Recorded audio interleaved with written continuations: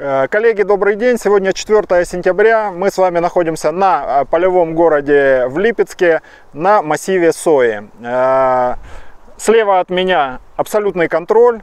То есть по гербицидам, да и вообще никаких тут обработок не было. Для сохранения фона засорения, да, чтобы было понятно. Из сорняков присутствует азот, бодяк, горец, марь белая, щерица, щетинник, э, проса куриная. Весь набор сорняков, который типичен для центрального черноземья. А, теперь я предлагаю перейти на варианты с гербицидными обработками, посмотреть, э, как складывается ситуация там. А, коллеги, сейчас мы перешли с вами на вариант, э, где было проведено две обработки гербицидами. Первая обработка Гарда Gold с нормой расхода 4 литра на гектар. А, обработка проводилась э, более 110 дней назад.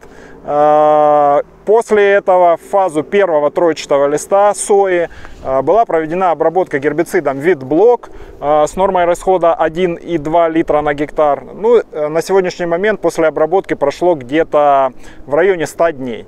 То есть вы можете видеть э, состояние сои, видеть уровень засорения. Да, Э, есть э, единичные растения э, бодяка, есть единичные растения щирицы, но в целом массив стоит чистый, и вы помните, да, уровень тот, который был на контрольном варианте, по сравнению с ним тут эффективность практически идеальная.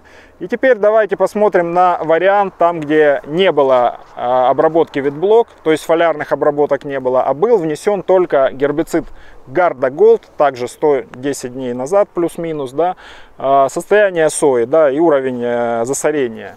А, подсолнечник остался, ну это естественно, да, для Гарда Голд.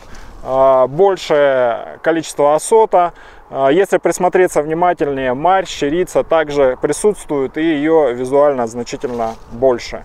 А, ждем уборки. Э, я думаю, тогда все станет более э, ясно и мы сможем сделать э, для себя выводы о эффективности схем на следующие сезоны. Спасибо.